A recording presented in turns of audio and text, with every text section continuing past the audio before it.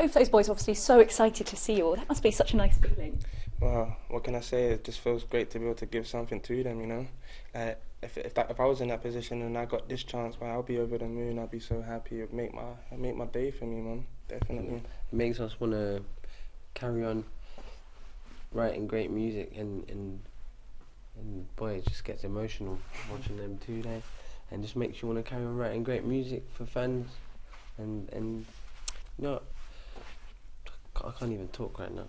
It's sort of another side to what you do, isn't it? I mean, obviously you've got the music and performing, but this kind of, you know, gives it a more human side to it, and it shows that some of your fans they're so, you know, they're so excited to be here, and obviously they're they're both so poorly. It must be nice to be able to. Yeah, no, this should be standard at any other time. The charity needs us to do something like this. We'd be more than happy. Um, at the end of the day, you know, something like this shouldn't even be a question when you get asked to do it. Um, I'm gonna, you know, spending my days in the studio doing what I love, making lots of money. Those, you know, young kids have got, you know, should have their whole life before them and they've got so much going on right now that shouldn't be happening. So if you've got the chance to, to spend, a, you know, some time with them and, and make them happy, then there shouldn't even be a question of it. You should just, it should just be happening.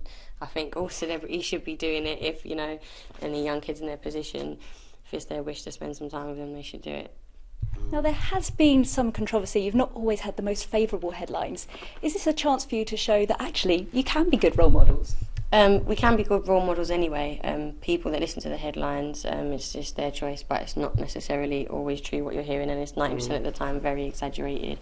And we never came in this industry saying that we're perfect. At the end of the day, we're here because we stand up for what we believe in, and we believe in being real. And as a role model, we say, follow your heart, speak your mind, and everybody makes mistakes, and that's why we are role models. But um, yeah, this is just showing that we're, we're only human, and this is what any good person would do. And quite famously, you are a hip hop trio. Do you think after today you might be recruiting a couple more band members? Yeah, Yeah, yeah. most definitely. Mark and Mason are most definitely the new N doublets. The They're gonna be the younger. N-Dubz, like you know how S Club Seven had S Club Juniors. We're gonna have N doublets. How Yeah. about that? Like it. Brilliant. Thank you so much, guys.